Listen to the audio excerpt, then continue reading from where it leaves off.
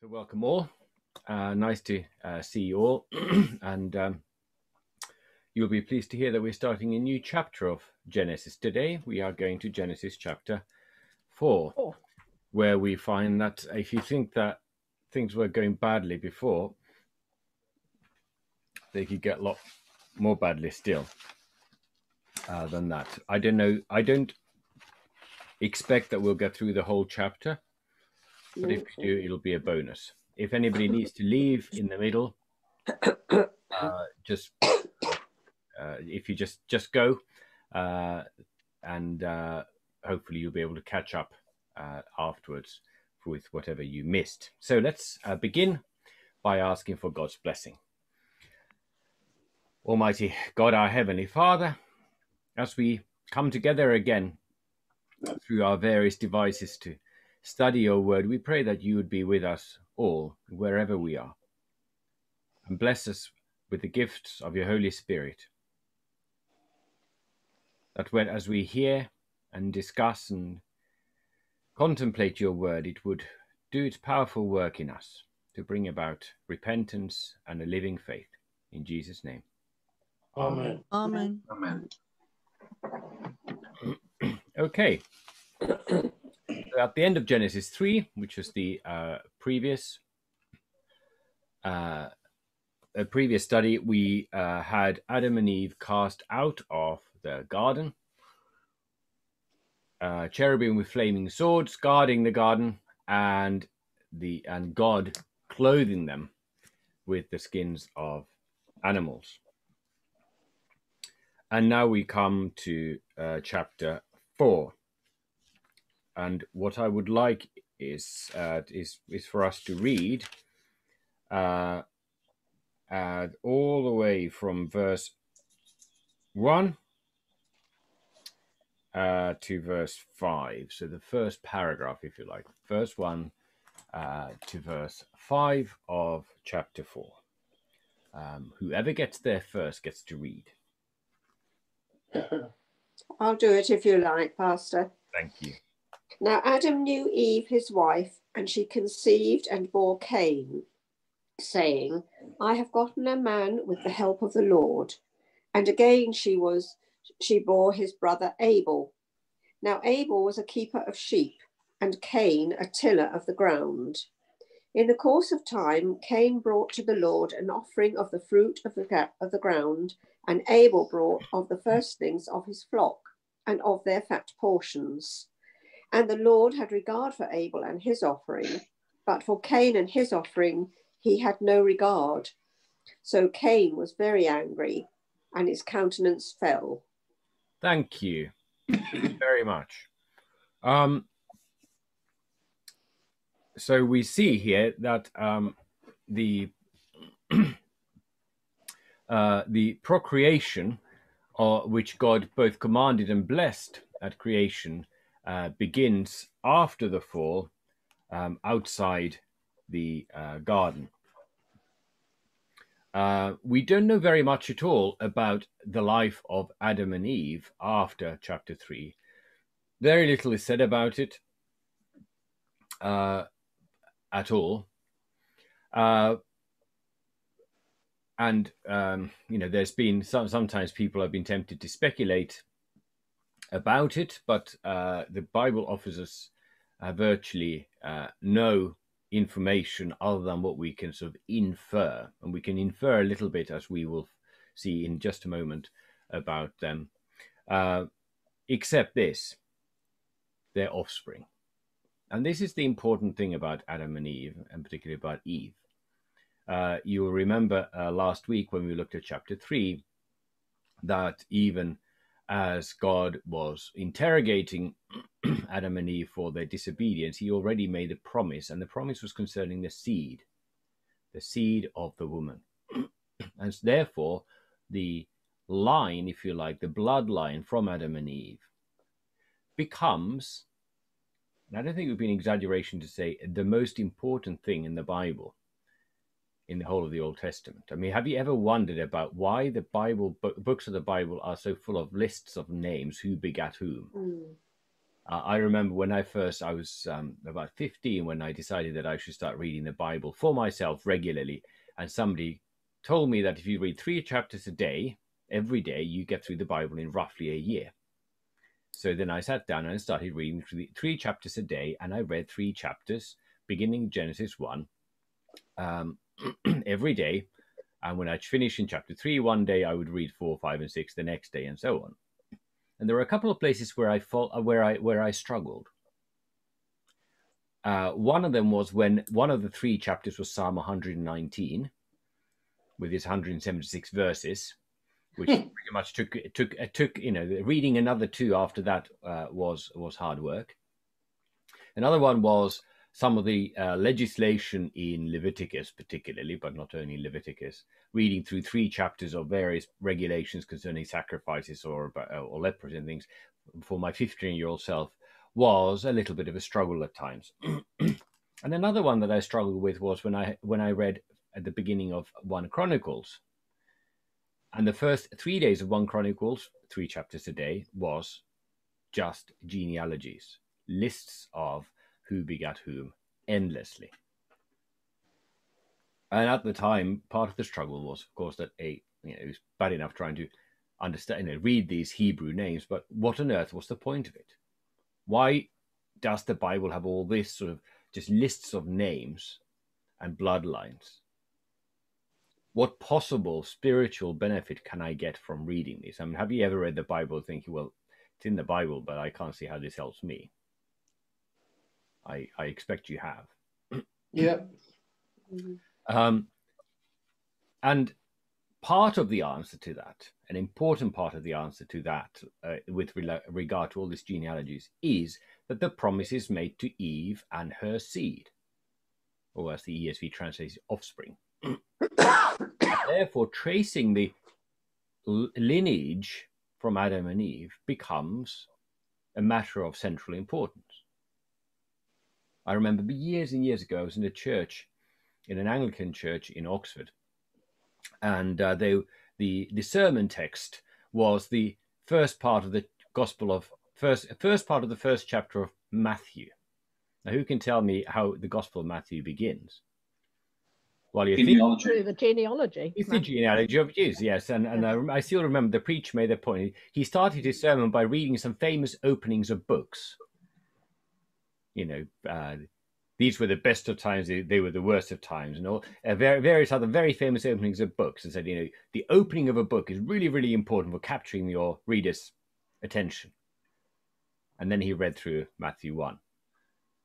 And that's not how to do it. just get a list, list of names. But of course, Matthew begins with a genealogy because it he traces the lineage of Jesus to the promises, in his case to Abraham. Luke, in his gospel, traces the lineage of Jesus all the way to Adam. Which is why, by the time we get to chapter 5, which is the next chapter, having chapter 2 began, oh, the, just uh, verse uh, halfway through verse 4, chapter 2 said, you know, these, these are the generations of the heavens and the earth. And then chapter 5 begins, this is the book of the generations of Adam. And so what how you can trace the promise is by tracing the offspring, the seed. You can almost think of it if you think of it in kind of non-scientific terms, like you know, by promise, uh, to, to use biblical la- language, if like the seed of a seed of the woman, Jesus was already present in the loins of Adam by promise, not obviously not physically, biologically, and then you just have to trace if you like, the the the uh, the passage of that seed through the generations until the time is right. And this is why it's so important that we don't. uh, another reason, rather, why we don't become detached from the Old Testament, even when it's difficult for us to see what the point of it all is for us. Because sometimes the point isn't that you could read that chapter or these chapters or even this verse of the Bible and you get something directly out of it. But rather, the whole story is the point. And if you don't know the whole story, then you're building what you do know on lots of gaps. And that's not right. I think we can all agree. So you need to you need we need to know the foundations of our faith so that we can fully appreciate them. And if we don't know the foundations, then we don't also fully appreciate the things that we do know. And that's why Genesis 4, the immediate aftermath of the expulsion of the Eden, begins with the offspring of Adam and Eve. Okay, so the ESV has retained the old English uh, euphemism. Uh, Adam knew Eve, his wife. When I say it's an English euphemism, it's actually Hebrew euphemism. That's the that's the way that the um, both the Hebrew and the uh, um, and and the Greek translation of it in the Septuagint actually uh, express it. The Adam knew Eve, his wife, and just to pause on that word, just as a little footnote here, um, it's not just a euphemism. It's not just a roundabout way of saying something, but it actually says something very, very important about the relationship between a husband and a wife. You know, we had in in uh, chapter end of chapter two, we had the expression that the uh, man should leave his father and his mother, uh, be united to his wife, and they shall become one flesh. Which, if you like, expresses the physical significance of the sexual relationship between a husband and a wife. But it's not just a physical act, as we all know. And the most common way of describing it or, or, uh, in the Old Testament is to use that word to know. And I think there's something very helpful, I think, and important about that. that the the the physical, particularly the sexual relationship between a husband and wife, is a matter of mutual knowledge, knowing one another intimately. And if it's not that,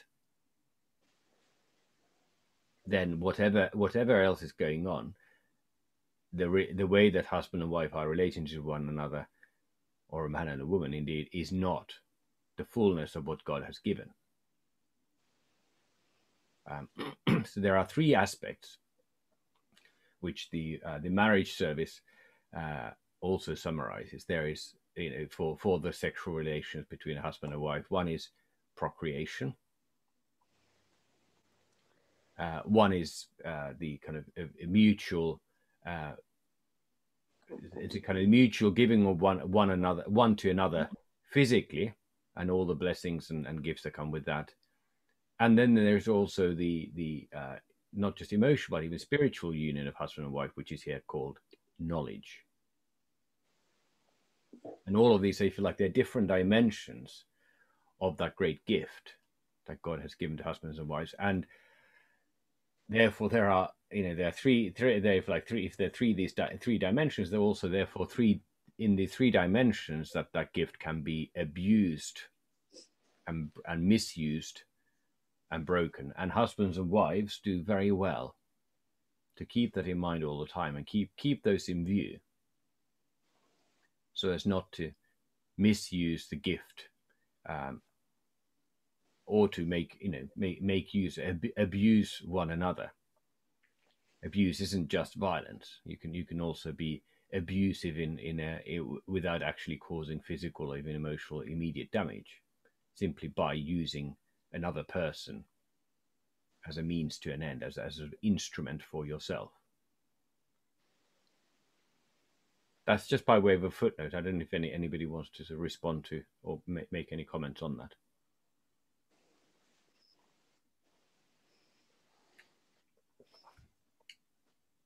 Stunned you into uncharacteristic silence. um, if not, then, uh, so Adam knew his Eve, his wife, and said, and she conceived and bore Cain, saying, um, I have produced a man with the help of the Lord. I think NIV says, I have brought forth uh, a man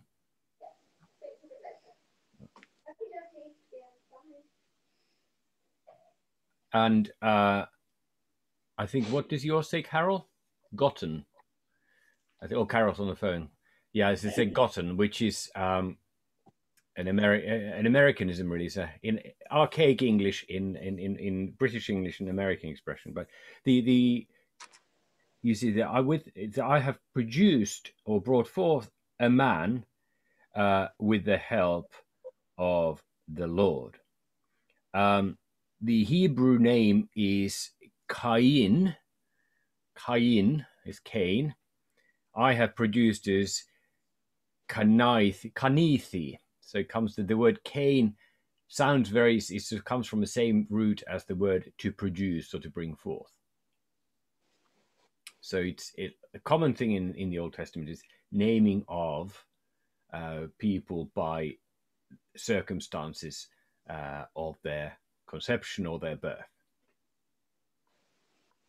Um, even even Jesus himself, Jesus, the name means the Lord saves. So he's named after his his his uh, the the circumstances of the, in, in his case the cause of his birth. Now, if Eve says, "With the help of the Lord, I have produced a man, or brought forth a man." What you what what what is she saying? What does that mean? I, I have the ESV and it says, I have produced a man with the help of the Lord. And I was just pondering as you you, you were speaking, it can mean two different things. Is you know, if you start off with saying, Well, I've done this and God's helped, kind of like a PS, by the way, God has helped, or the Lord has helped me and I have produced. You know, it's I was thinking, you know, is is Eve kind of just saying that is this sin saying that God is kind of a, an addition? He's not the central part of me. He's kind of an, uh, you know, he's helped, but I've done the hard work. Or am I reading too much into it? Well, that's one way of reading it, certainly. that you could see it. Okay, this is this is just God saying, uh, Eve saying, "Yeah, I I produced and, and the God helped." I, am reading from the sorry, I'm reading from the New King James, and it says, "I have acquired a man from the Lord." Ah, now that comes ah. comes, comes across very very differently, doesn't it? Yeah.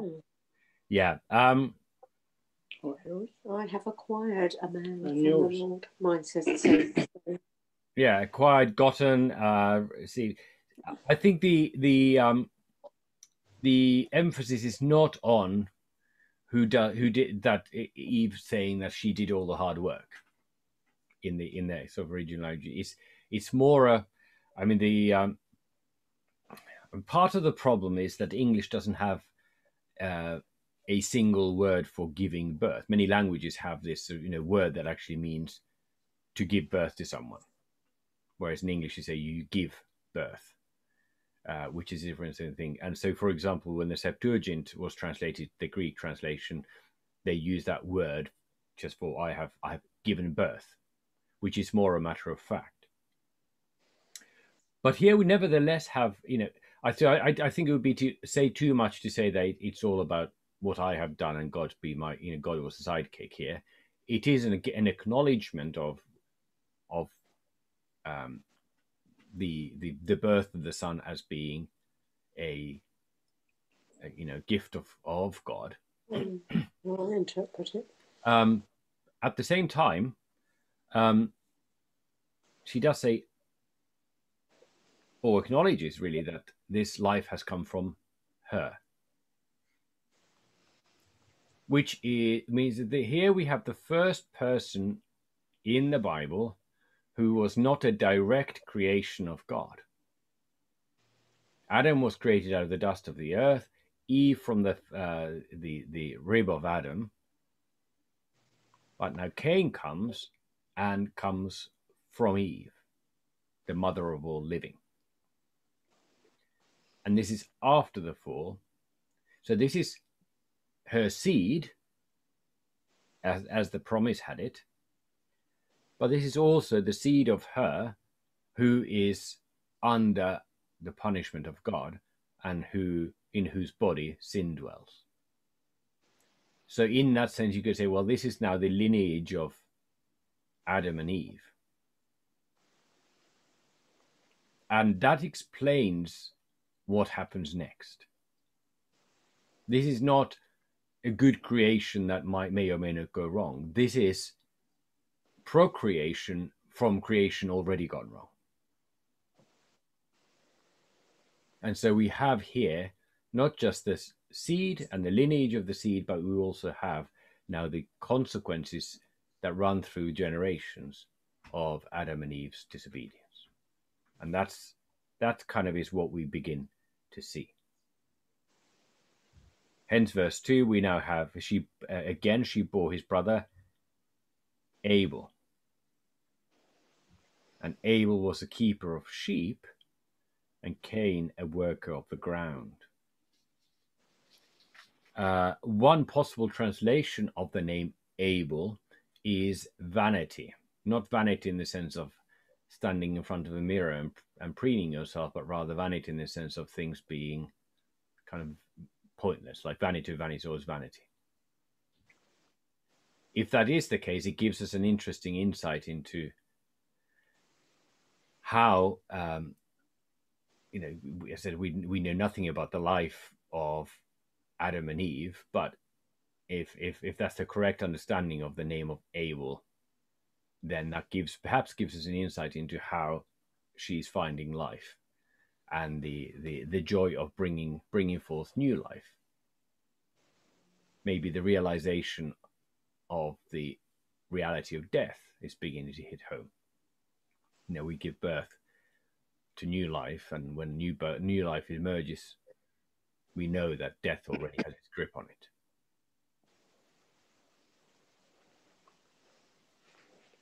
um Interest- go on I was just going to say it's interesting how they came about what they were going to call the sons, um, because you know, kind of when those of us are having babies now, we kind of go through all these names and decide what we want going to. But obviously, for some reason, as you I think were, were is that the name is very important and it's not a name obviously at the time which other people had but it was a name that de- described something about either eve's feeling about the child or what it looked like or something does that Yeah, I mean the, the naming customs vary hugely from time to time, place to place, and culture to culture.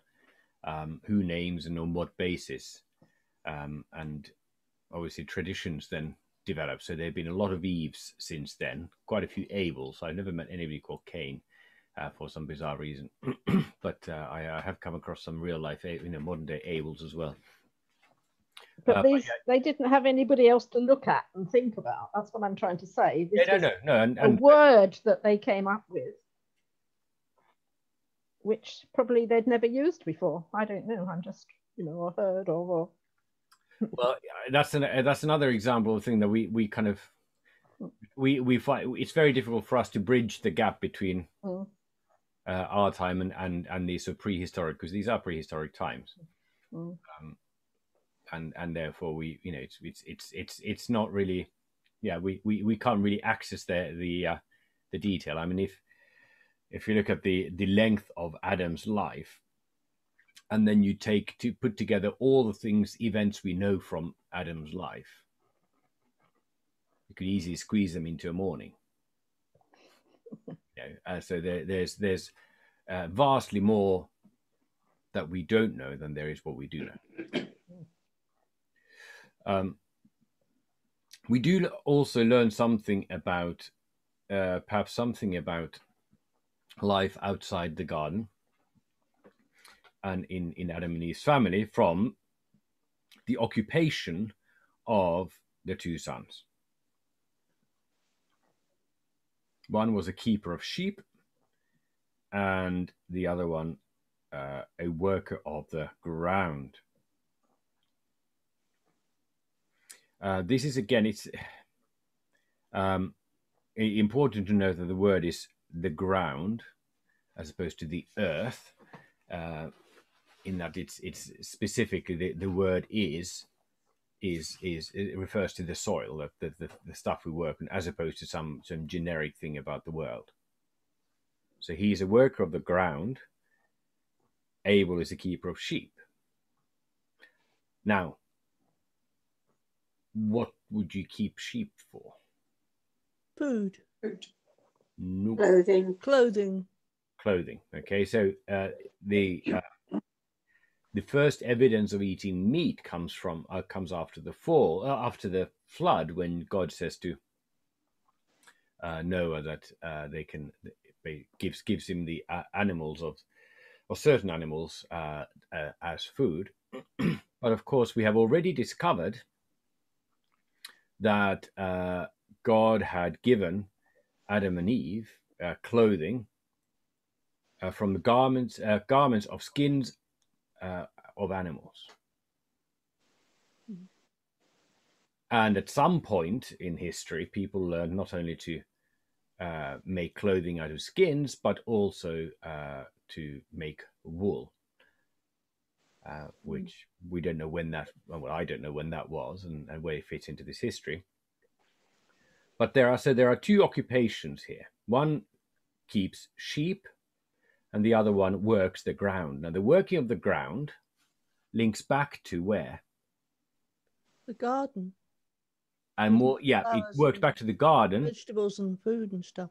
and it specifically worked again. It's it's linked to the uh, the uh, punishment that God issued on Adam, cursing the ground and working. You know, you shall by the sweat of your face you shall eat bread till you return to the ground, for out of it you were taken. So this working of the ground, which was given as a task of guarding and keeping the uh, was then specifically uh, once the garden was out of bounds. Now Adam be- became a worker of the ground. The ground, however, was cursed, and so both the both the, if you like, uh, the uh, both the boys' jobs, Abel and Cain, were linked to already in themselves to the reality of the presence of sin and the punishment for sin in the world.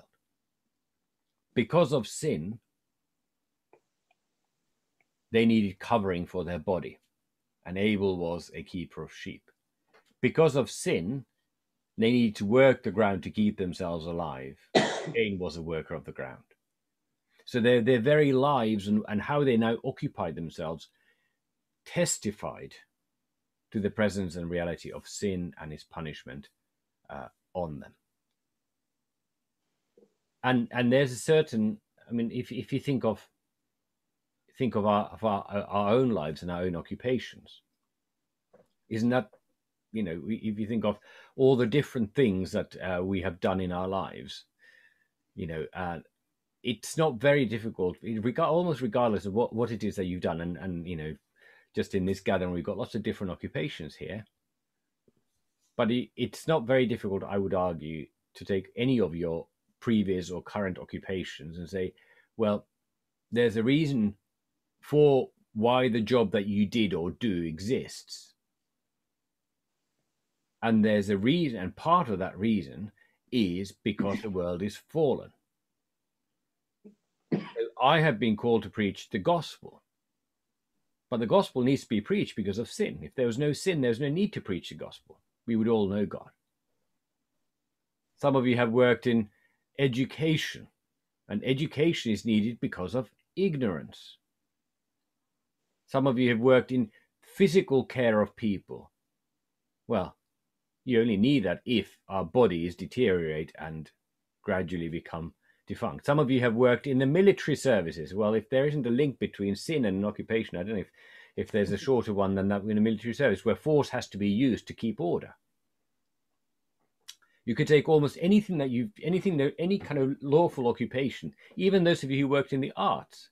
The fact that we kind of, you know, that, that things like, I don't know, music or other forms of art, you know, that these, these things with, with, with which uh, God has beautified our lives, that that you know they, they, become things that some some of us kind of had to study and work very very hard to provide for others because we, in a sense, to put it kind of in a sort of semi-biblical way, we've kind of lost our song. The Psalms are full of you know sing to the Lord a new song, um, but you know, there's the kind of that we the, the beauty needs to be generated for us because it, it doesn't come easily and naturally anymore.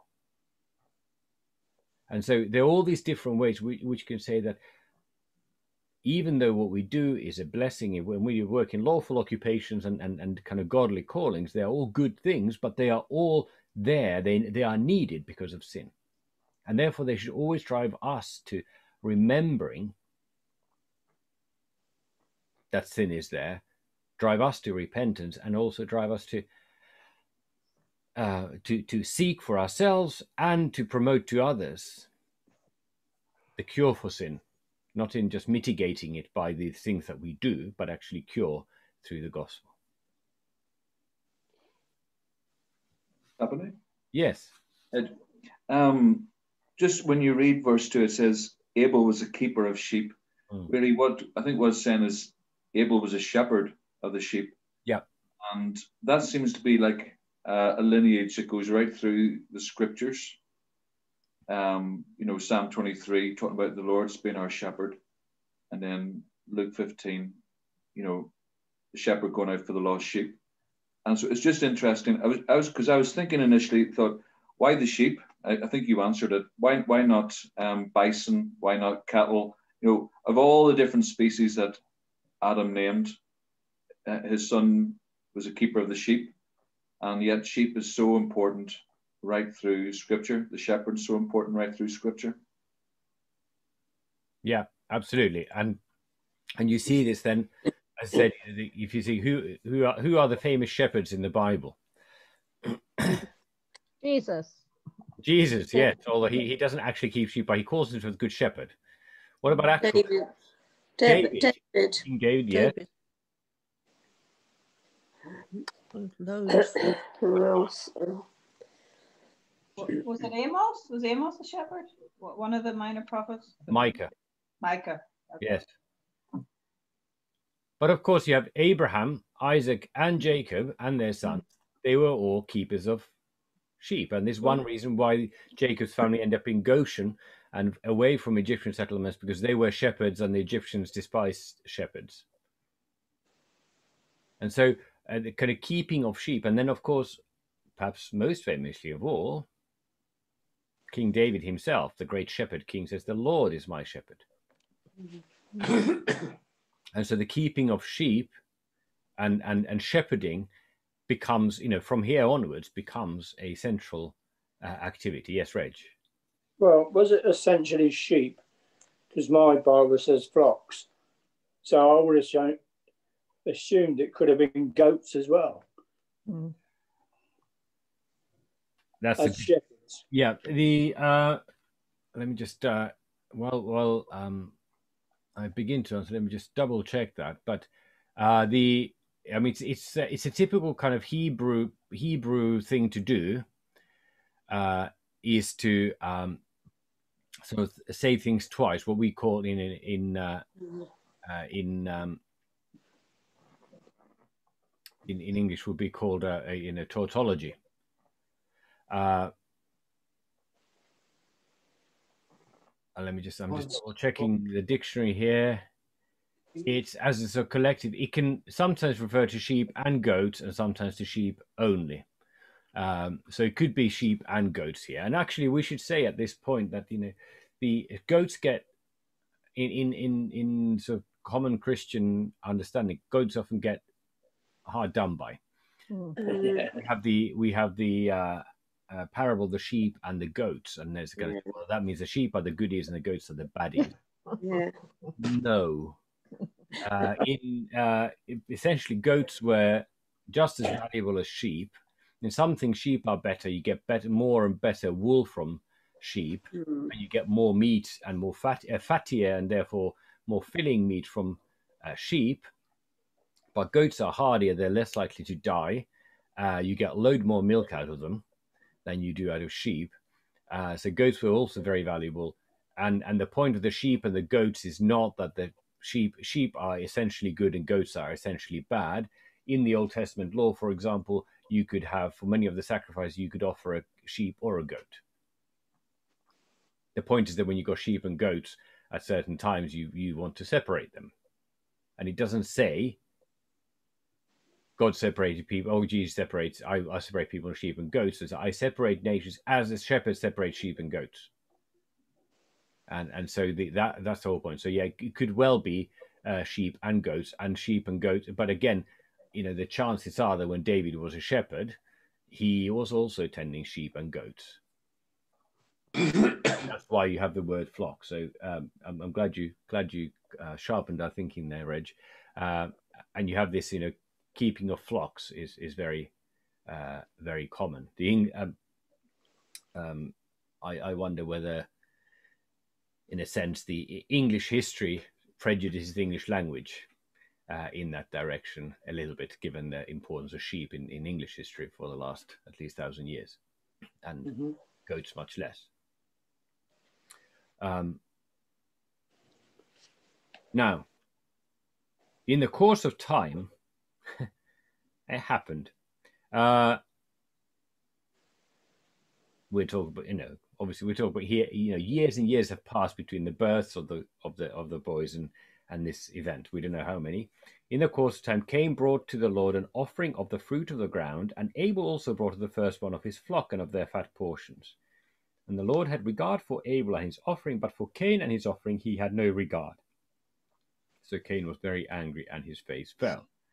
I don't think we need to have much discussion as to why Cain was angry and why his face fell.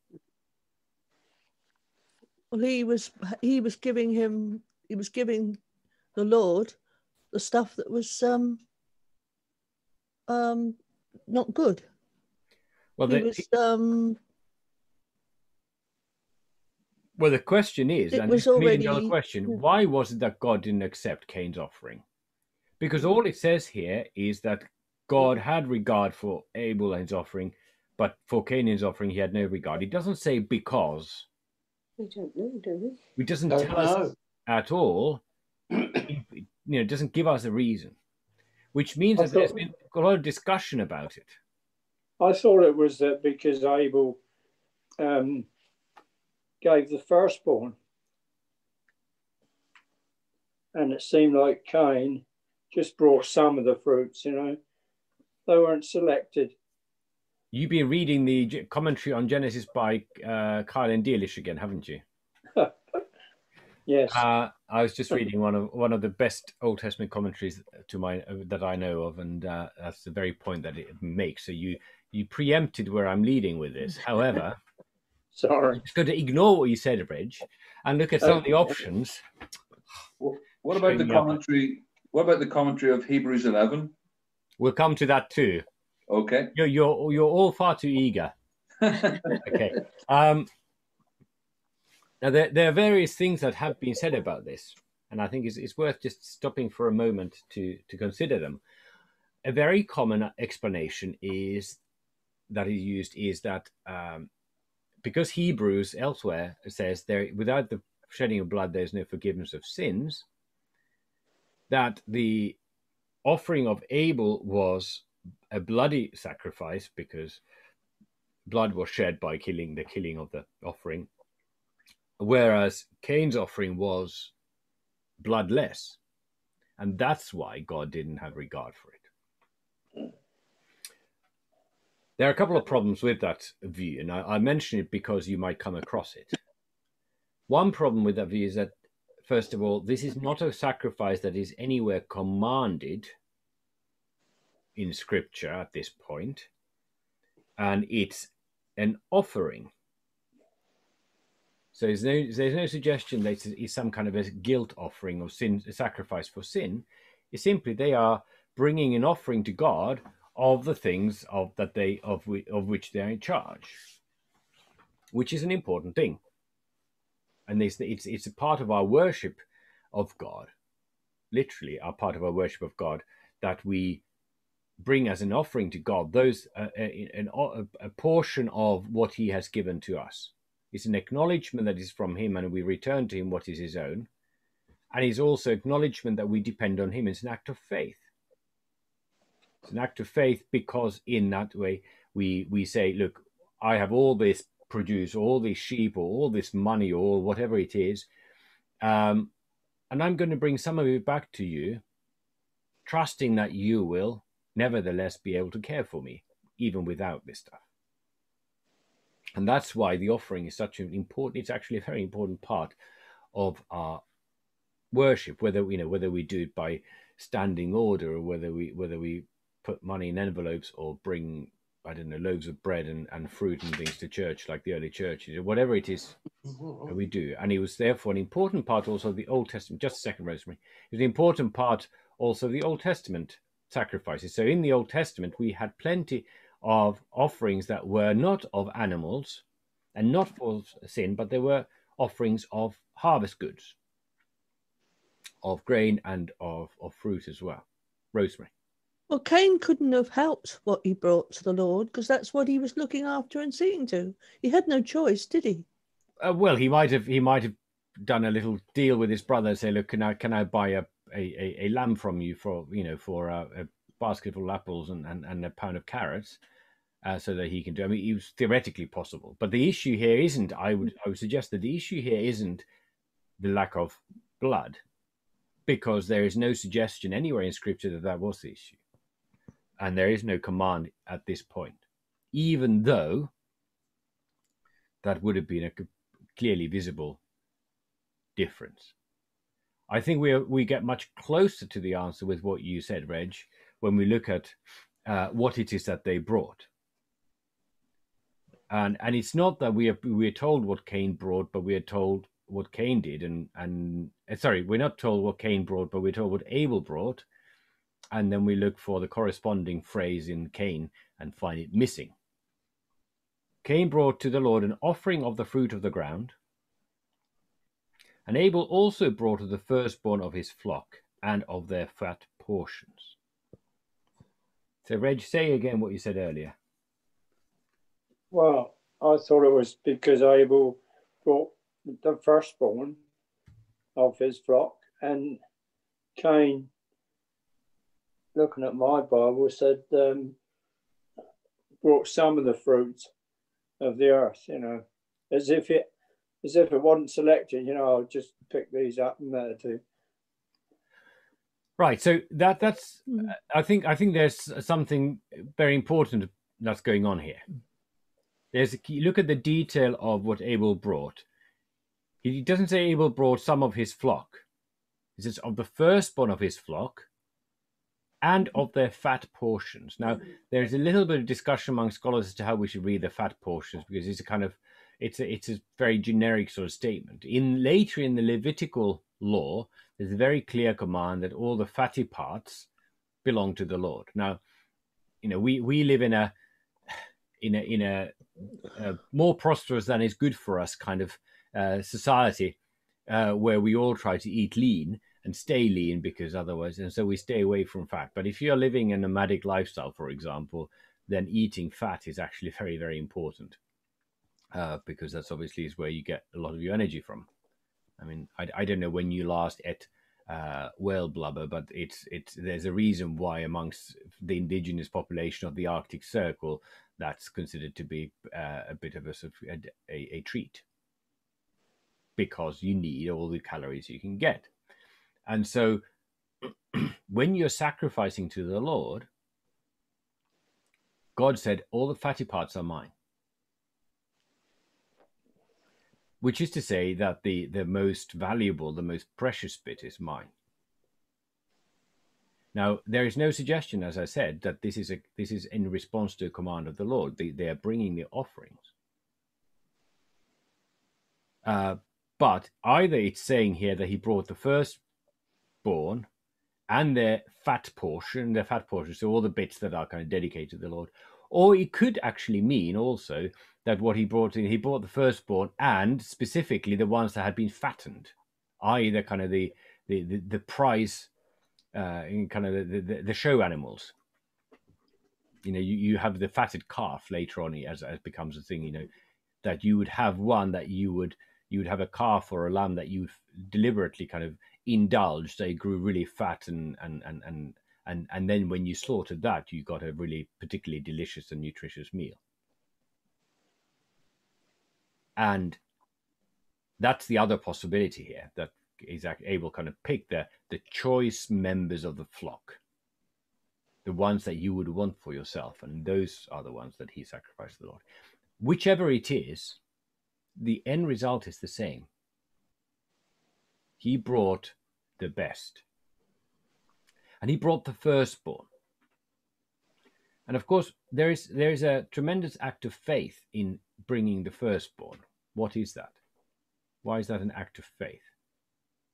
Because that's the most important one first.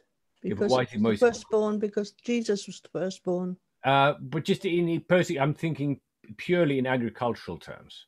You, you don't know there's going to be a second. Exactly. Who knows that the wolf isn't, you know, the fox or something is, isn't going to get the mother tomorrow, and that's it. Hmm. And that's why, you know, when God calls for the first fruits, Israel to give their first fruits, or when he says that the firstborn, the, the male that opens the womb is mine, the firstborn belongs to the Lord, and you don't keep it for yourself.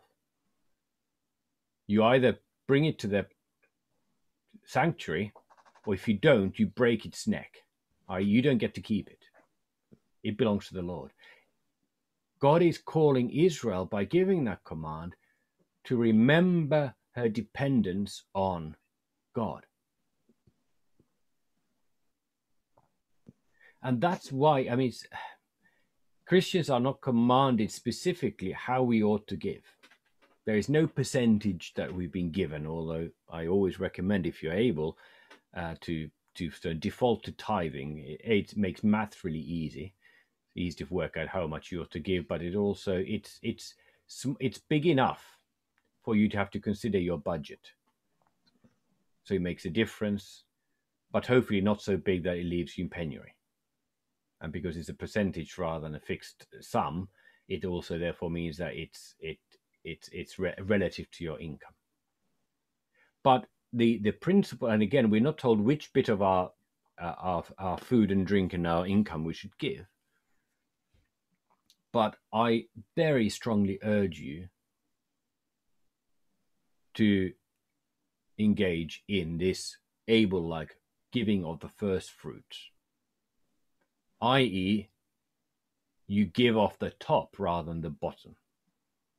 You don't give to the church whatever is left at the end of the month once you've had your your takeaway curries and your uh, and your uh, whatever it is TV subscriptions and and and and paid for your your your holiday and for your uh, I don't know your your home massa- massage and all the other things that we kind of with which we on which I'm sure you spend all your money all the time, especially the massage. But you know that, and then oh, well, there's a bit of money left over, and so I'll give that to the church. No, that's simply saying, oh, God can have whatever's you know what I don't need. That can go to God. That's not an that's it's not that God needs your money, all that the poor do, uh, and and the church does but it's really detrimental to your own faith if you consider that all that that your number one priority is to have the things that you want and then the rest whatever's left over goes to god because then you are placing your own pleasure and your own desires at the center of your life. And you know your flesh does that naturally. It doesn't need any encouragement at all. And you you know we all need to fight against the temptation to prioritize earthly things that give us pleasure over the things of god especially when it's hard. And this is why again sacrificial giving both in the sense of giving you know you set your budget and you set your budget and the first thing you set in your budget because this is what this is uh you know you you you you set your budget for the things that you can't do without and one of those is the gospel. And that goes right at the top. And then you see at the end, well, how much money does that leave uh, for my love of lollipops or Belgian chocolates or whatever it is? And that way, because, and, and this is what takes us to Hebrews. Notice here the order in which the commentary goes. It doesn't say that Lord had regard for Abel's offering, but not for Cain's offering. It says the Lord had regard for Abel and his offering, but for Cain and his offering he had no regard. The key issue is the offerer, not the offering.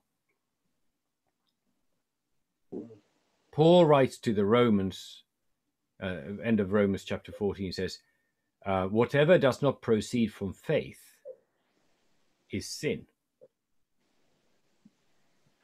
Just this morning, I was uh, reading um, Proverbs, as in, as some of you might recall, I've and I've, I've recommended this to you and to many others as well, of reading a chapter of Proverbs every day. And if you just follow the days of the month, then today is chapter 28. And I don't know if any of you did that today, but verse 9 says this If one turns away his ear from hearing the law, even his prayer is an abomination.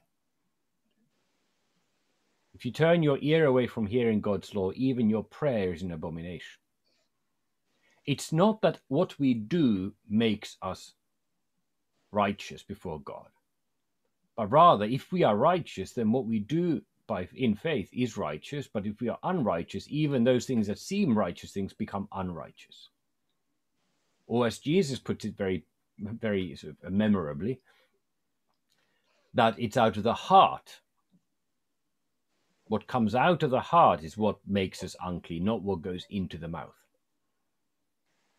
Food can't make you unclean, you are unclean from within. And then when you do things with an unclean heart, then everything you touches becomes unclean, even your seemingly righteous acts, your prayers and your sacrifice and offerings. So, David, we come back to you. What is the commentary in Hebrews? On you read it out. Have you got it? To read it? Yes, please. Sorry.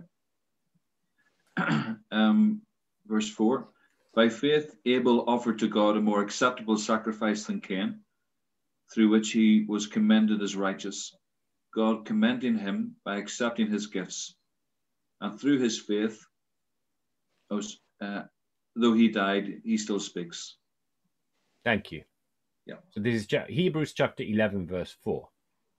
If you make notes in the margin of your Bible and you haven't got this one, it's a good one to add. Hebrews 11, verse 4.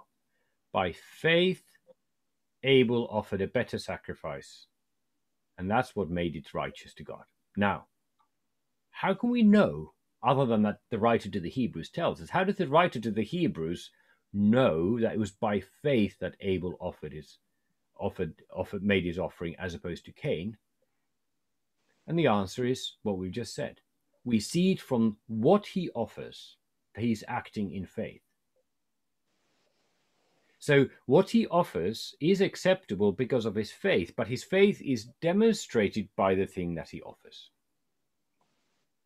And that teaches us something very important also, um, which is that our deeds do not make us righteous.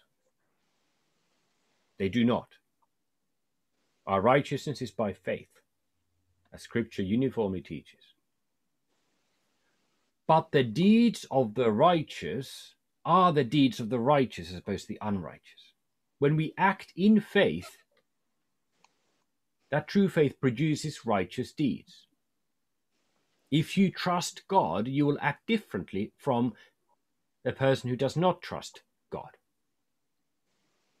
If you believe that you are a sinner deserving damnation, but that your sins are made clean in the blood of Christ, and that he has called you to live in his kingdom under his in his righteousness starting now that will change the way that you live your life from if you believe that either that you're good and you don't need to repent or that you are a damn sinner who has no hope. Your deeds don't make you righteous but your righteousness changes the way that you, you know, changes your deeds and so Abel had faith, and how can we tell that faith? Because we see how he what he did. And the implication is that Cain just cobbled together some of what he did, some of what he had. But there is nothing here to suggest it's not. It's we're not told that it's the first fruits or the most precious crop. It's just some of the produce. And so he calls us to read this, to calls us to examine ourselves and our lives you know, there's that old thing which can be terribly abused in a legalistic fashion. Said, if you were put on trial for the crime of being a Christian, would you would they find sufficient evidence to condemn you? Um, which I- and I, I don't particularly like that. Usually, that's that that question is asked to send people on a guilt trip. But there is a there is nevertheless, and I don't want anyone to go on on on that guilt trip. But nevertheless, um, there is a very clear connection in Scripture between faith and works. Faith leads to works, certain kinds of works, and produces certain kinds of works. Now, to the outsider, you see the works first, if you like. Not the faith, but the faith is actually the thing that produced the works. That means that if you examine your own life and your own works, and they're not particularly Abel like, and they're more Cain like, what is it that you need? More faith. More faith. And that faith is born by hearing the promises, grasping those promises, and then putting them to practice. So faith comes by hearing the word of Christ,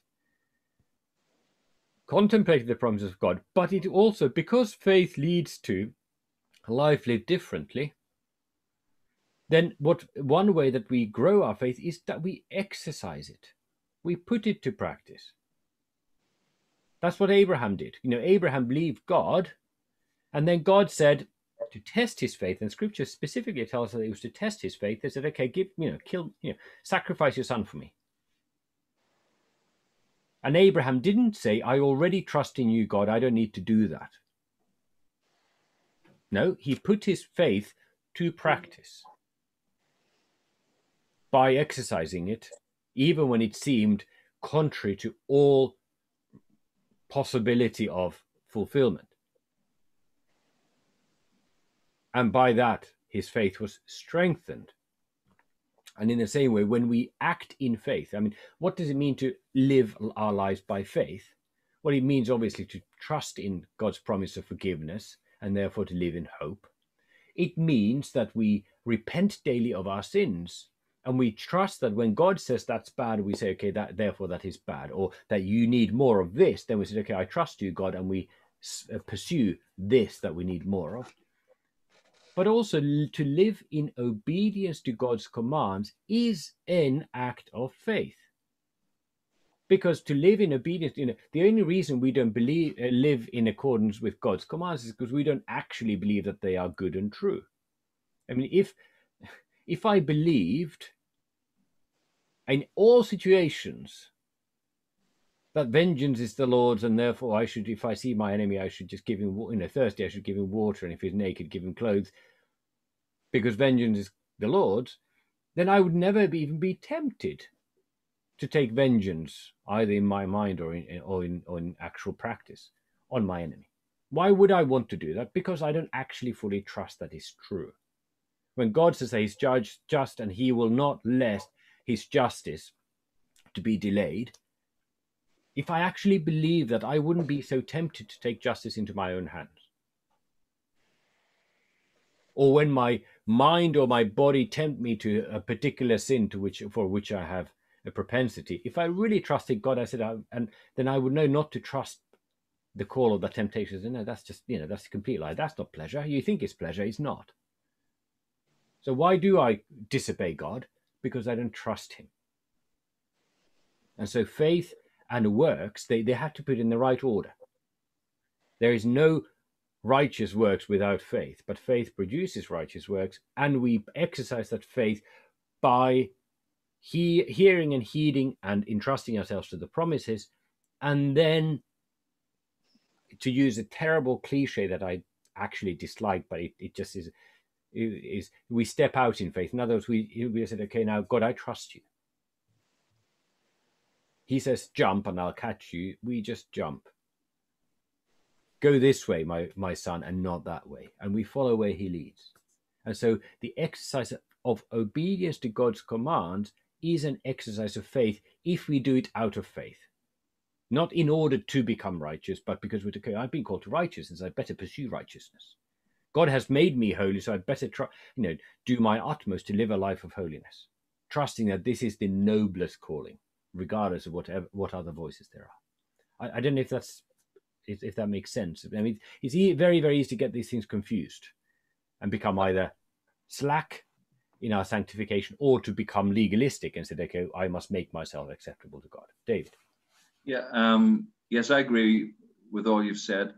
It's just in, in practical life, you know, when you're, you're walking through each day, our minds can be all over the place. And sometimes, I say to Cynthia, sometimes you can get a, a thought in from the left, you know, it just kind of knocks you.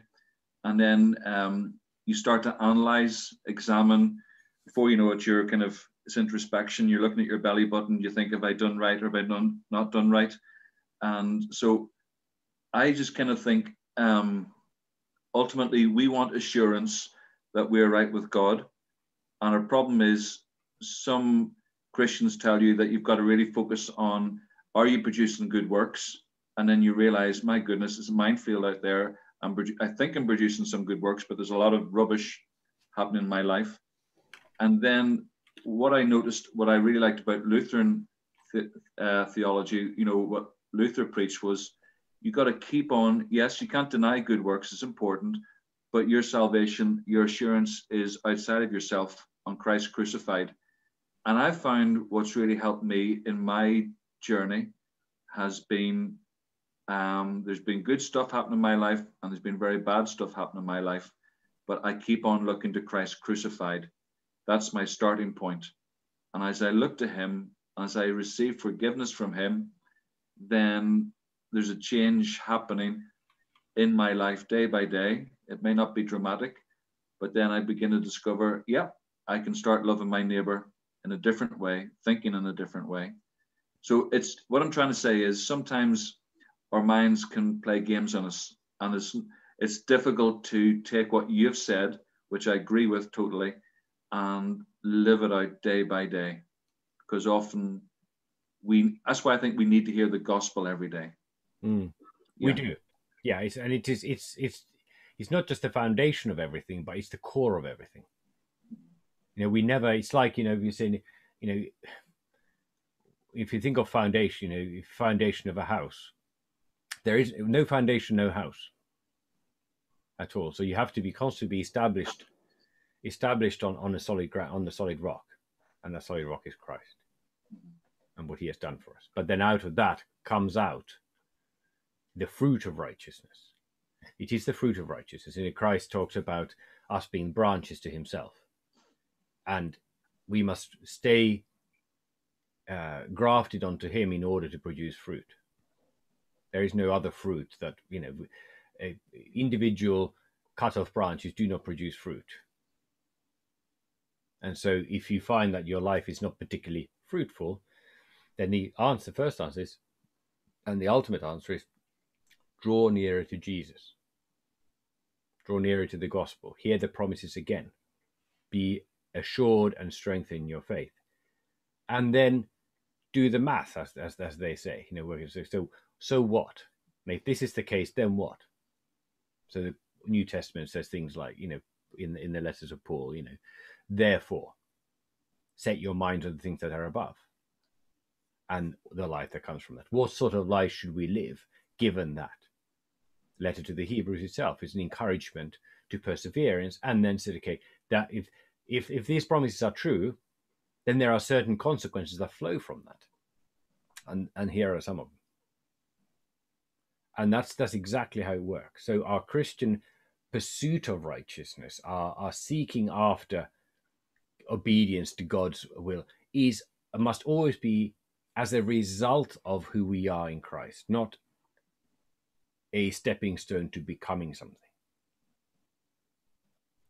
And either way, if we say what I do doesn't matter because I'm forgiven in Christ, then I don't understand what it means to be forgiven. It means to be removed from the power of sin and not to be not not liberty to sin more. You know, read Romans six.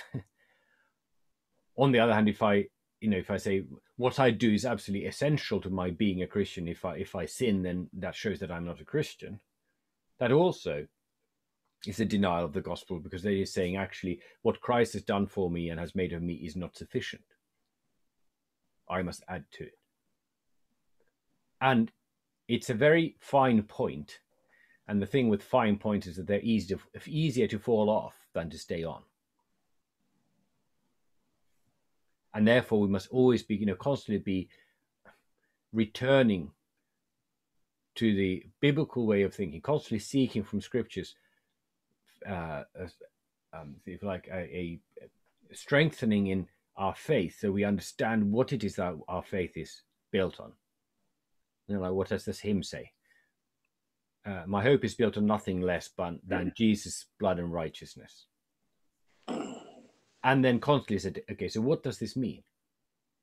This is one reason, by the way, if I if I if I may uh, advertise uh, something a product again, one reason why uh, we all do well to return to the catechism regularly because it sets this out so very very clearly all the time. You know what is the what does such with water signify? Signifies that the old adam in us should by daily remorse and repentance be daily drown and die and a new person should come forth and rise to live before god in righteousness and purity forever. That's what it means to be baptized. The old adam must die daily new person emerges daily. Okay? So there's a you know it's only only a verse a couple of verses in passing but there's a lot of basic you know this this is the thing with these early chapters of genesis. One reason why we go so slowly. I hope you've been patient with the pace but there's so much of it that it, it kind of they, they're these germs of biblical teachings that are ultimately kind of gradually um uh, if like they, they germinate and, and come to full blossom later in scripture is there anything else on on on these verses uh on on the um, if you like the prelude to the tragedy.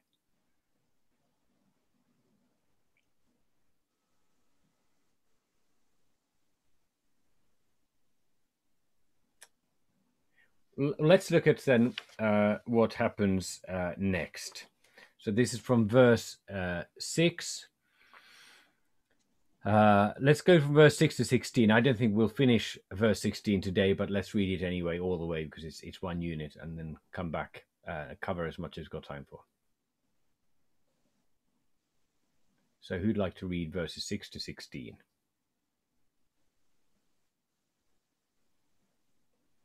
I can read it. Thank you, Cynthia.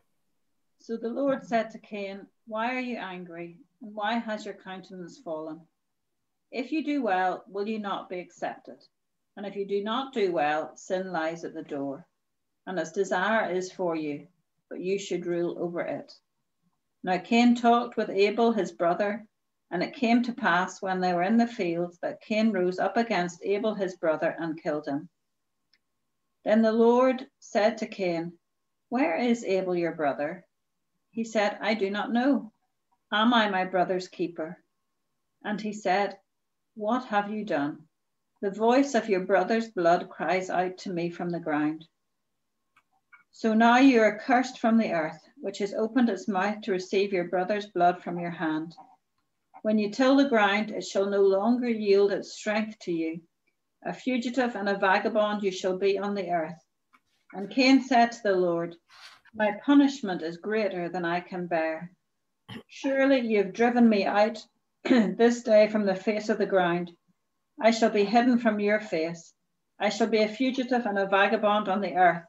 And it will happen that anyone who finds me will kill me. And the Lord said to him, Therefore, whoever kills Cain, vengeance shall be taken on him sevenfold. And the Lord set a mark on Cain, lest anyone finding him should kill him. Then Cain went out from the presence of the Lord and dwelt in the land of Nod on the east of Eden. Thank you. Any uh, initial thoughts, questions?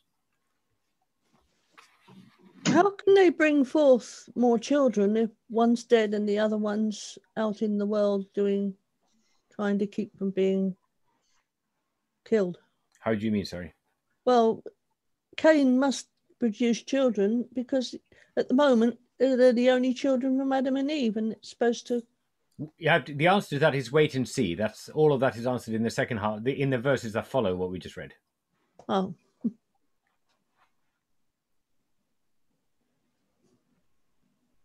Okay, well, if if you haven't got any uh, any anything um, at, that jumps out at the moment, let's let's have a look then what we see.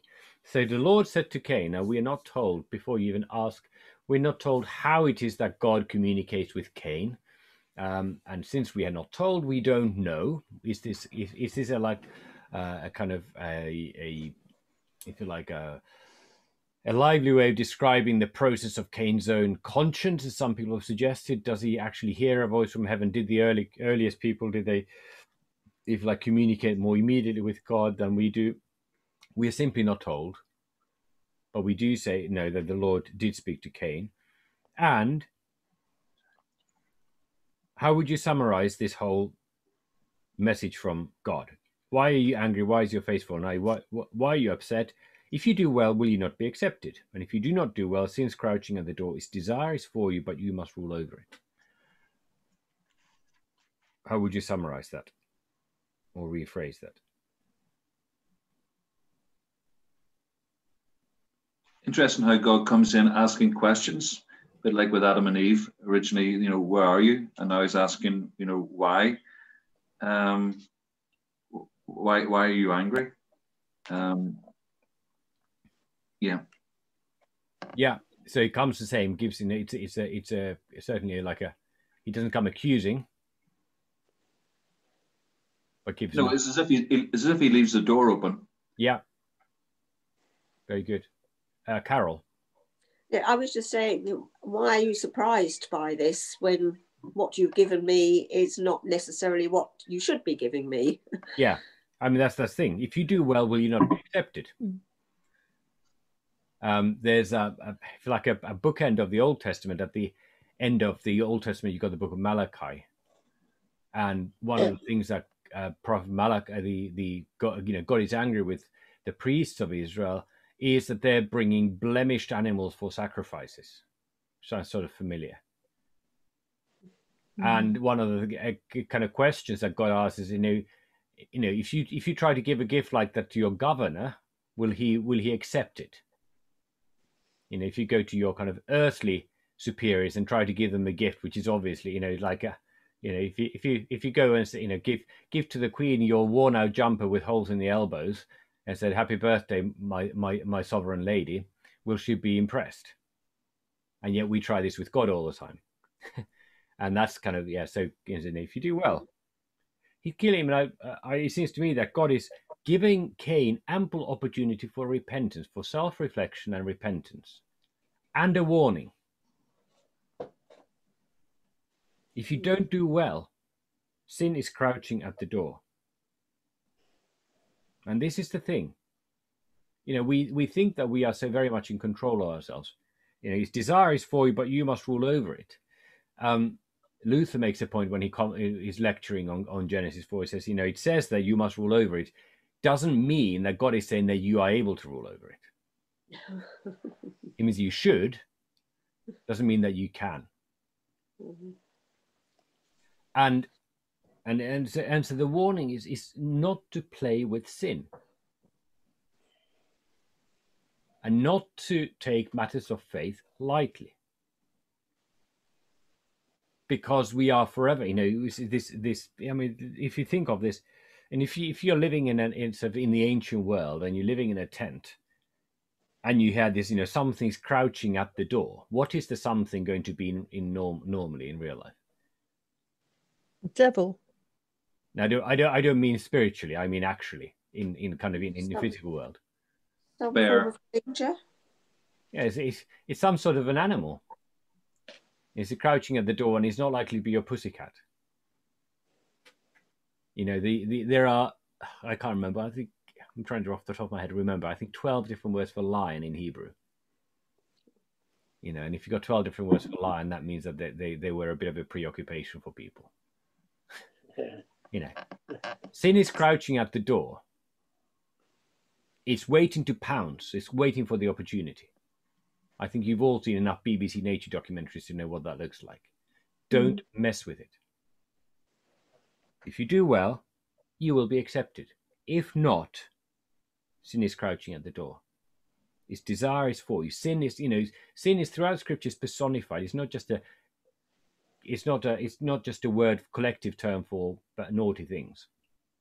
But it's, it's, it's described very often. St paul does it in his letters talks of sin as a this sort of cosmic power that is trying to master us to which we are slave. You know the other way you could think of this crouching is you know this like you know if you think of the image of slavery to sin in romans 6 for example.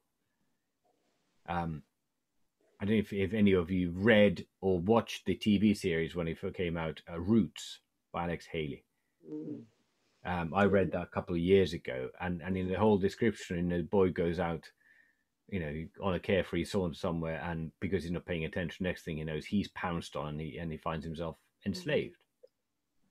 And by that time, it's too late, and you can spend all your time on the on the crossing of the Atlantic in the slave market, and you know, the rest of your miserable life, you can think, if only I had been more vigilant. Too late. And this is the image that scripture uses of sin. And therefore, we're called to what does Jesus say? Stay awake, be vigilant, be watchful. And what we must be watching for is not just kind of spiritual thoughts and ideas, but sin, unfaithfulness, and lack of faith in our whole lives and not to make little deals with the devil. I mean, folklore in all countries is full of stories of people who kind of made a deal with the devil. What do they all have in common? Wanting better for themselves. And the end result? Death. Yeah, it, go well. it, it never goes well. No, it all goes wrong. Yeah, it goes there. There are all sorts of variations, but it's always the same. You do a deal with the devil and it never pays off. You're worse off in the end than you were before you began. And what does Cain do?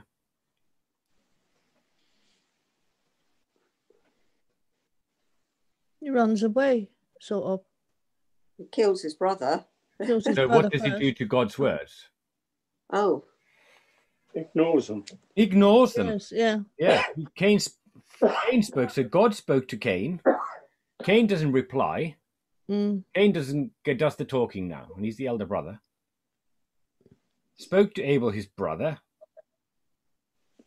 Now, some Bible translations say, and the NIV does this, I've got a translation of the Bible into Finnish as well. Um, and the this is already in the Septuagint, which is this second century Greek translation of the Old Testament, second century BC Greek translation. Cain said to his brother Abel, Let us go out to the field. The Hebrew, the original text, doesn't say what he said we infer that kind of let's blah blah blah is an inf- inference from the fact that Cain spoke to Abel and what happened. It just says Cain spoke to Abel his brother, and when they were in the field, Cain rose up against his brother Abel and killed him. Who did Cain have a problem with? God. In- God, yes. Cain's quarrel was with God because it was to him that he made his offering. It was God who didn't accept it. And mm-hmm. Cain, instead of dealing with the problem of sorting his relation with God out, decided to take a different shortcut and acted against Abel. It was simply a crime of envy. Abel wasn't a party to the quarrel. Now, there was Cain with God, and there's Abel with God, and Abel was accepted by God. Cain was not accepted by God, but it had nothing to do with each other. There was jealousy, wasn't there? He was jealous of God's relationship with Abel and Abel's relationship with God. And instead of accepting God's discipline and amending his ways, repenting, he decided instead to destroy Abel, who had nothing to do with it. Instead of emulating Abel, he destroyed Abel. And Luther, I think, is very, very famously and, and I think very helpfully, kind of goes off at this point. He's, he's lecturing on this text and he kind of goes off on a tangent and says that it was ever thus. The whole history of God's people is the battle between the church of Cain and the church of Abel. Those whose righteousness is in, in God's promise alone, and those who are self righteous. And the church of Cain is forever trying to destroy the church of Abel. Now, Luther in his day, of course, had very strongly, uh, very um, firmly and clearly in mind his own present struggles, where the Church of Rome and papacy was trying to destroy the Church of the Reformation and trying to impose a righteousness of works over the righteousness of faith. So there is another. Now in our day, it's the Pope and his cardinals who are the Church of Cain trying to kill the Church of Abel. But the whole history, and you see this, you know, you see this David and Saul, Jacob and Esau. You know, wherever you go in the scriptures, you've always got this struggle, Judah and Israel, of the two alternative paths to uh, God's acceptance. And what they have in common always is that the unrighteous one is forever not trying to become more righteous, but rather trying to destroy the righteous one. interesting as well that Cain, in a way, has broken all the commandments uh, at once. You know, he, he doesn't love God with all his heart, and his closest closest neighbor, who is his brother, mm. um, he kills. So he certainly doesn't love his neighbor as himself. No, and you cannot. And this is again, you know, James in his letter says, if you've broken law in one place, you've broken the whole law because one God has given the whole law. And but not only that, but how. Well, if I quote Luther again from the Large Catechism, uh, his his most marvelous explanation of the first commandment. If you haven't read it or haven't read it recently, I really commend it to you. The explanation of the first commandment in the Large Catechism is just pure gold but he speaks of the first commandment being, you know, he said if, if the commandments are like a necklace of beads, the first commandment is, is the thread that holds them all together. Cain's problem is that he doesn't love God. And because he doesn't love God, nothing else works either. And therefore, he sees his brother's righteousness not as a cause of thanksgiving or even an example to follow, but a threat because Abel's righteousness is an accusation against his own unrighteousness. I mean, have you ever wondered why, for example, why some you know organizations, or to use term very loose, like ISIS, why are they so busy trying to shoot and bomb people and enslave them and crucify them and behead them and all those other things, you know, burn them, burn them alive and all? So why, why, why are they doing that? Why don't they just basically think, you know, if God's on our side, and this is God's will. So you know we're going to be victorious. Why do we have to torture and crucify and enslave our opponents or those who we see as opponents? What's what you know what what's the mindset? It's supposed to be in the Quran, isn't it? Yeah, although I think most Muslims would say that they they're not reading Quran very well. well, they don't believe or trust that that is the case, that God is in, in control and that they can trust Him. They want to do it for themselves. Well, so it They're seems frightened. Yes, exactly. I think, you know, it's whenever you got dictatorships, you know, it doesn't matter whether it's Hitler or Stalin or Mussolini or somebody else, what you see is that they always act in fear. And everybody's frightened of the powerful dictators and the, and the, and the tyrannical terrorists or whatever. But people act like that because they themselves are fearful.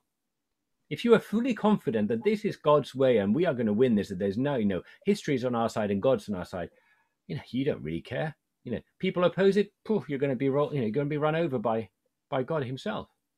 Remember Gamaliel's advice, you know, uh, council when the disciples were before the council in Jerusalem. If this thing is from God, yeah, you can't. If the thing is not from God, it will not last. If it is from God, there's nothing you can do against it. Mm. And Cain is the first one here. He says, you know, he acts in anger, and you can see that, you know, he has his brother as an example. Note the younger brother. And this is another.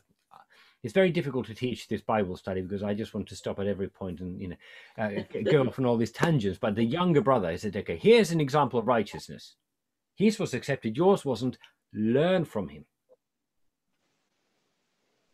and he doesn't. While we're talking about younger brothers, can you think of any in the Bible, any significant younger brothers? David. David, again. Joseph. Joseph. Joseph. Benjamin. Yeah. Prodigal son. Prodigal son, yes, very good. Jacob. How about Isaac? Jesus? Isaac was an only only child, although he was the younger brother to Ishmael, half brother to Ishmael. That's true. Hmm. Joseph, did we say Joseph? Yeah, we did. Okay. How about Jesus? Who is Jesus? The only Son of God. He's the only Son of God, but he's also, He'd be the oldest son of Mary. yes. In what sense, let me ask, re- ask it this way to be really bla- clear. In what sense is Jesus not the, the younger son?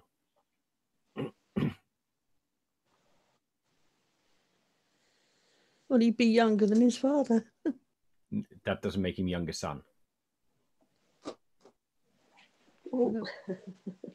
I can see lots of puzzled faces staring at me through my screen. no. He's the second Adam. Thank you. He's the second Oh. Adam. Oh, You look at the uh, you look at the genealogy of Jesus in Luke's gospel. Jesus, the son, as he was supposed to have Joseph, son of son of son of son of son of Adam, son of God. He's the second Adam. What the Mm. first Adam came to do and failed, the second Adam came to do and succeeded, and so on. Mm. And this of and and throughout the scripture, God chooses the unlikely, the weaker, the younger, the one who has no natural claim. Jacob rece- receives the blessing of the firstborn, though he's not the firstborn. Joseph becomes the master of his brothers, although he's the younger one. Hmm. And so on. David is the youngest of these eight brothers, and yet he becomes king, mm. even though Saul is the one who's handsome and taller than everybody else, and so on and so on and so on.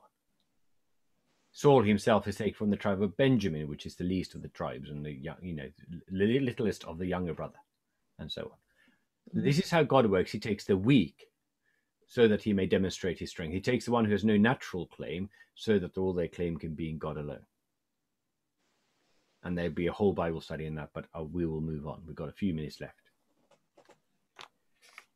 Cain doesn't love or trust God, and therefore the whole of you know the whole commandment of God is broken, and he rose he ignores God and he rises up and he kills Abel. And God comes to Cain as he had come to Adam and Eve after their sin and says, Where is Abel your brother? He doesn't come accusing. I mean, just think of the mercy and love of God. You know, what has Cain done? Think of what Cain has done. Think of your own family members. You know, your your you know, he's killed his own he's got their two brothers and one has killed the other. Hmm. And God doesn't come ablazing with wrath and anger and thundering at him. He says, he asks him a question Where's Abel, your brother? Gives him an opportunity. The first thing that he gives, his first response is say, Confess your sin. Confess your sin. His door of mercy is already open at this point. I mean, it's, it's, it's just, I mean, it, it's just extraordinary that God should do such a thing. And yet he does. When Adam and Eve were first confronted by God, when God said to Adam, Where are you? Not where is your brother, where are you? What did Adam do? He hid. No, he had already hidden. He was hiding, and God said, Where are you? What did Adam's what was Adam's response? Fear. He was, he was afraid. He's explained why he said, I hid myself because I was naked. I was afraid. Hmm. Essentially, although he didn't confess his deed, he confessed, if you like, his state. Hmm. It was a sort of half confession. When God asked further questions, he then they then tried to pass the buck to each other, and he tried to pass the buck. But he didn't deny his deeds. He said, "I did do it, but it wasn't really my fault." And you can see here now we have Cain, who whom Eve produced with the help of the Lord, and his first response. There's no fear of God here. He lies. Mm. He defies God. He says, I don't know. Why are you asking me? I mean, if you know, if, if that was a four year old child, they end up on the naughty step, right? Or a few decades ago, something a bit more painful. Yeah. Yeah. So you don't speak to your parents like that, and you certainly don't speak to God like that. Why are you asking me now? Just to just to clarify something, I have to double check this. The it says Abel was a keeper of sheep, and here it says, "I'm my brother's keeper." That's a complete coincidence. Though there, there's no correspondence in, in Hebrew between them. It's it really it would be almost better to say, "Am I my brother's guardian?" The one who cares for. In fact, this is the keeper of brother comes from the same word that is used for Adam's task in the garden to keep the garden, to guard it. Um, so am I, you know, am I my brother's guardian? Now, what's the correct answer to that question? Is Cain his brother's guardian or keeper in that sense? No, sorry, when I say guardian, I don't mean legal guardian, the one who's responsible for his uh, kind of um, uh, in that sense, but rather the one who guards and cares and looks after and, and protects. Well, yes, because he's a younger younger brother. He is his younger brother, and in fact, yeah, we're all called to be each other's guardians. Yeah. What What else does it mean to love your neighbour as yourself?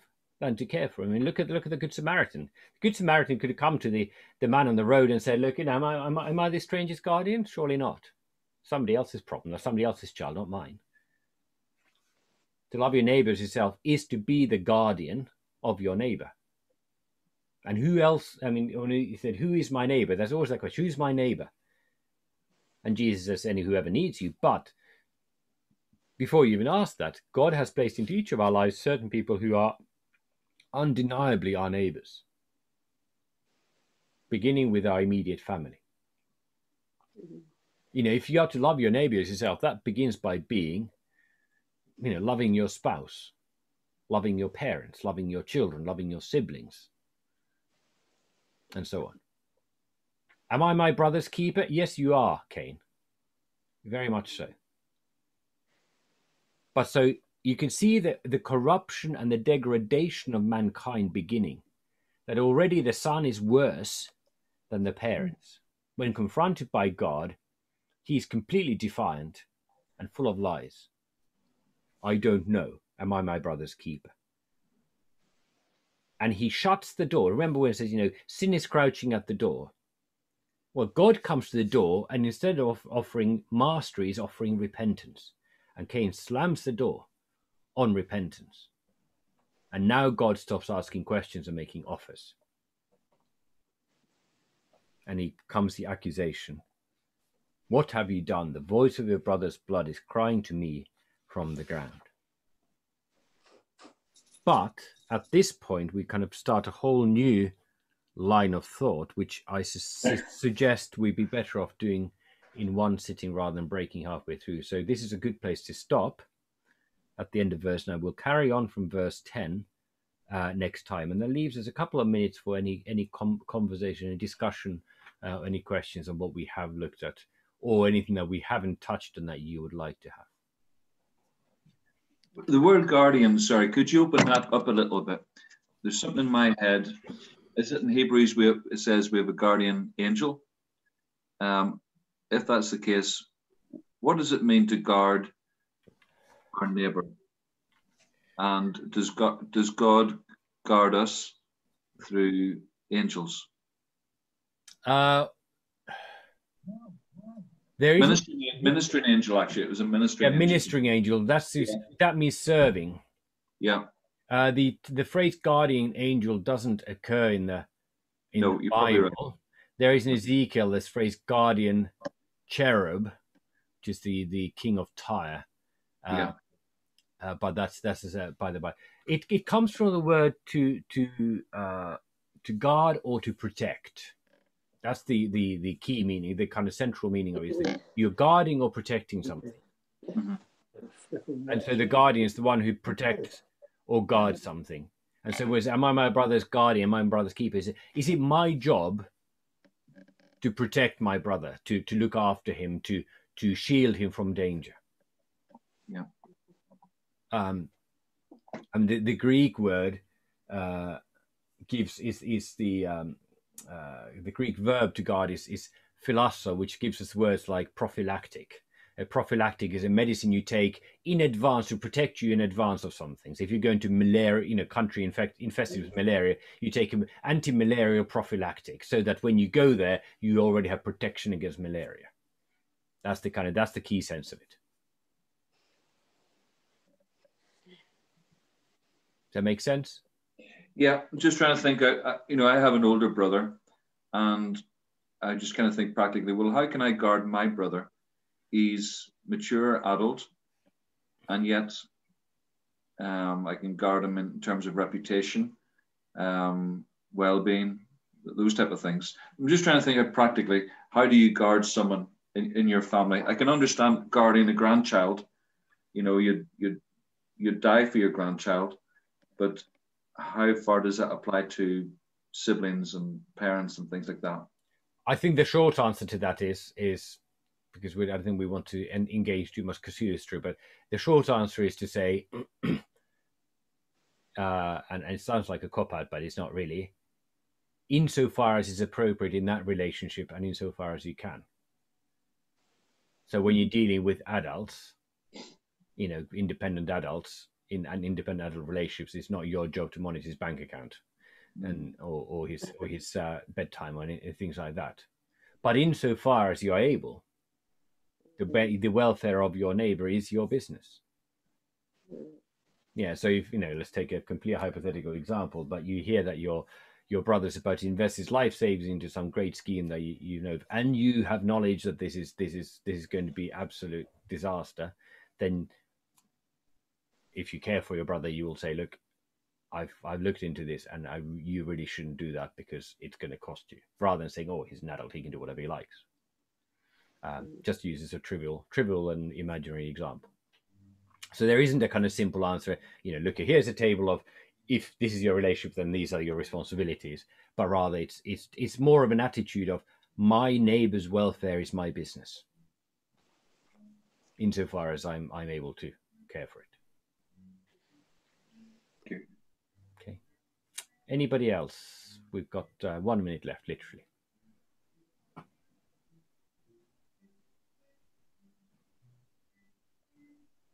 Well, in the face of the resounding silence, let's stop there. Let's close with prayer. Heavenly Father, we thank you for the example, the warning, and the promises of your word. We thank you that you confront our sin with the call to repentance rather than with your naked and fearful wrath. And we beg you that your Holy Spirit would soften our hearts, break down our prideful resistance, that when you call us to repentance, we would heed your call. Bring our sins in confession before you and entrust ourselves to the, your mercy and love in, in your Son Jesus Christ and his precious blood and sacrifice for us. And we ask that you would fill our hearts with the gifts of your Holy Spirit, that our whole lives would be a demonstration of your love, and that we would spend our days gladly serving in the world and in your kingdom with the gifts that you have given to us. Keep us and your whole church throughout the world until Jesus comes to gather us home to your kingdom of glory. So may the grace of our Lord Jesus Christ, the love of God, and the communion of the Holy Spirit be with us all. Amen. Amen